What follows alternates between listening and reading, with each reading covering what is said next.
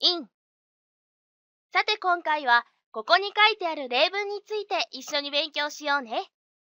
まずは一つ目の例文。私はポケットに3枚のコインを持っています。I have three coins in my pocket. I have three coins in my pocket. 私はこのクラスの何人かを知っています。I know some students in this class. I know some students in this class. それでは説明していくね。何々の中にっていう表現を言うときは in, in を使おうね。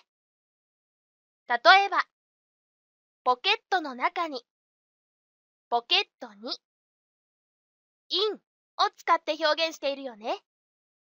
そして、このクラスの中で、その場合、in を使っているよね。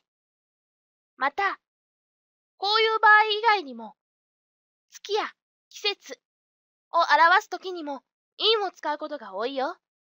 例えば、私は夏に山に登ります。I climb mountains in summer. I climb mountains in summer. in summer 夏に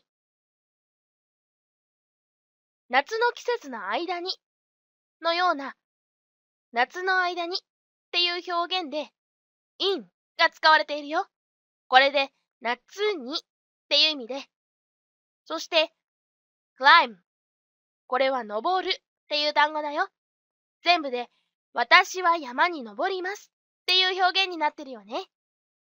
そして、二つ目の例文。私はカゴに三つのリンゴを持っています。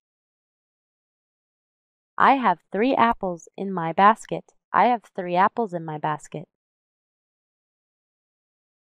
in my basket カゴにリンゴを入れるときはカゴの中に入れるよね。日本語ではカゴにって訳すんだけど、雰囲気的にはカゴの中にっていう意味で使われているよ。Three apples 三つのリンゴを持っています。私はカゴに三つのリンゴを持っています。っていう意味になってるよ。それでは今回習ったことをおさらいしようね。何々の中にっていう表現は in を使おうね。月や季節を表すときにも in を使うことができるよ。